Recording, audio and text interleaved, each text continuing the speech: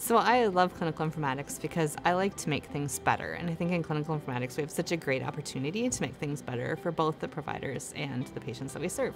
What I love about clinical informatics is it gives you an opportunity to affect a wide group of people, patients or providers, with the work you're doing every day.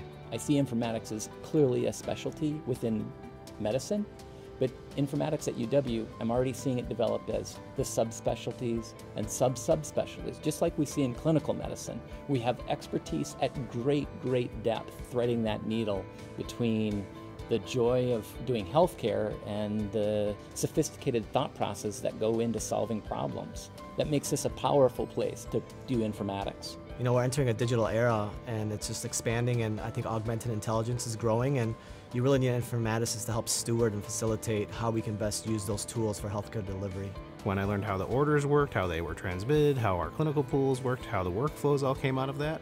In my clinical role as a physician, I can impact maybe 20 patients in a day, and with informatics, I can touch thousands of patients every day with the work I do.